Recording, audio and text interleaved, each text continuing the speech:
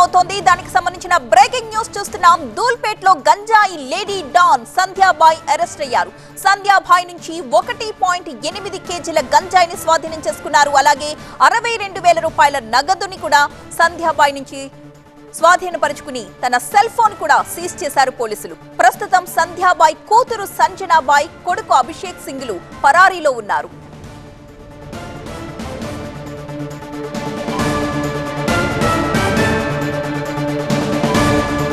నగరంలో ఎక్కడ గంజాయి దొరికినా దాని లింకులన్నీ దూల్పేట్తో కనెక్ట్ అవుతూ ఉండడంతో కొన్నాళ్ళుగా స్పెషల్ ఫోకస్ పెట్టారు పోలీసులు ఈ ఏరియా మీద.